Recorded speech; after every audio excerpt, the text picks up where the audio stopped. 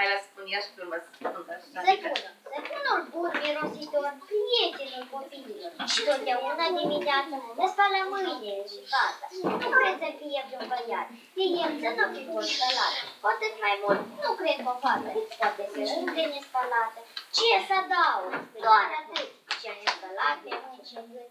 E trândă, fără îndoială, să pună lenii și nu-i spală. Hmm.